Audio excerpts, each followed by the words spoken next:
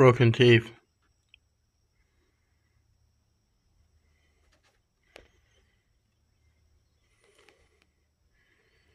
Didn't expect it. Had to take this thing apart just to see what broke. Because everything's showing plastic.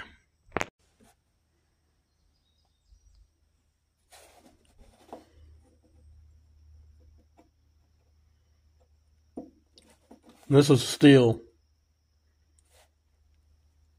Maybe. But it is metal. So that's what I need to order. Everything else, what I can tell, looks okay in there.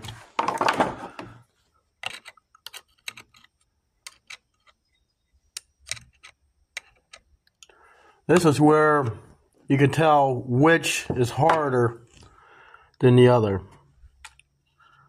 This gear is harder than this. But this is a teardown video of the uh, Craftsman 20 volt um, mini chainsaw. Well, guess I gotta start looking for parts. And um, I'll have a video on um, putting a new part in. See you in the next one.